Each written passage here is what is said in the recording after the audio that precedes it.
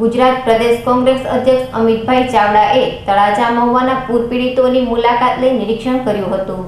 ભાવનગર જિલ્લાના તળાજા મહુવામાં મેઘરાજાના પ્રકોપથી તારાજી સર્જાઈ હતી, જેમાં જાનમાલને મોટા પ્રમાણમાં નુકસાન થયું છે ત્યારે આ વિસ્તારના પૂર પીડિતોની મુલાકાત અર્થે ગુજરાત પ્રદેશ કોંગ્રેસ અમિતભાઈ ચાવડા સાથે જિલ્લા પ્રમુખ પ્રવીણભાઈ રાઠોડ, ગુજરાત પ્રદેશ મહિલા પ્રમુખ ભારતીબેન, ધારાસભ્ય કનુભાઈ બારૈયા ઘોઘા તાલુકા પંચાયત પ્રમુખ સંજયસિંહ ગોહિલ, પ્રદેશ ડેલિગેટ મિલન કુવાડિયા લાલભા ગોહિલ સહિતના કોંગી નેતાઓ તારાજી સર્જાયેલ વિસ્તારની મુલાકાત લઈ નિરીક્ષણ કર્યું હતું અને પૂર પીડિતોની રજૂઆતને ધ્યાને લઈ એક રિપોર્ટ તૈયાર કરી સરકારમાં પહોંચાડવાની તેમની તકલીફોને દૂર કરવાની ખાતરી આપી હતી.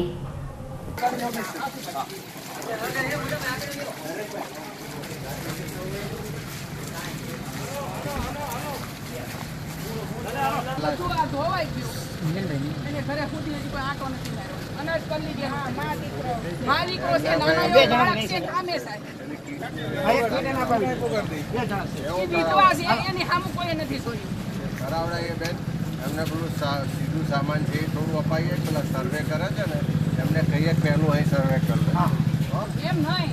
વિધવા છે. એને સતત નથી. માણા પાસે આરે બધા આદમી છે જ. એને કોઈ ખૂંટો નાખી દે બધું કરી દે આને કોઈ સોવા વાળું અહીંયા નથી. બધા એની ઘેરે જોઈ આવ્યા હજી કોઈ અહીં સોવા નથી આવી. એ બેન એના માવતરની ઘેરે ચાર દિવસ રોકાણી આવી અને આજ આવી છે હજી અહીંયા સુધી નથી આવું. નો અન્યાય નો હોય. પહેલું અહીં આગળ અપાવડાવજો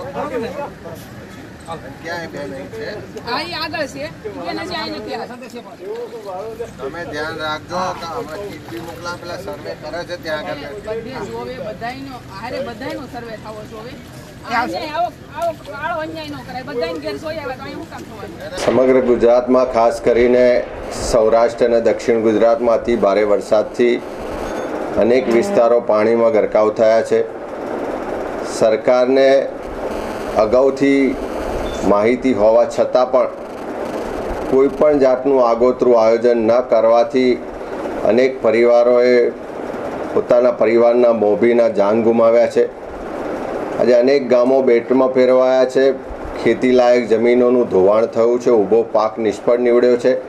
એવા સંજોગોમાં જે પણ પીડિત અસરગ્રસ્ત પરિવારો છે, એમને આજે રૂબરૂ મળીને સ્થળ તપાસ કરવા કોંગ્રેસના તમામ અમારા ધારાસભ્યશ્રીઓ અને આગેવાનો સાથે જઈ રહ્યા છે. અમારી સરકારને વિનંતી પણ છે અને માગણી પણ છે કે જે પણ પરિવારના કોઈ પણ મોભીનો જાન ગુમાવ્યો છે એને તાત્કાલિક યોગ્ય વળતર મળવું જોઈએ. એમના પરિવારમાંથી કોઈને પણ ક્યાંક ને ક્યાંક આવકનું એક સાધન ઊભું થાય એવી નોકરી મળવી જોઈએ. જે ખેડૂતોનો ઊભો પાક નિષ્ફળ થયો છે, જમીનનું ધોવાણ થયું છે, આર્થિક નુકસાન થયું છે, એવા તમામ ખેડૂતોના ખેતરોનું તાત્કાલિક ધોરણે સર્વે થવું જોઈએ.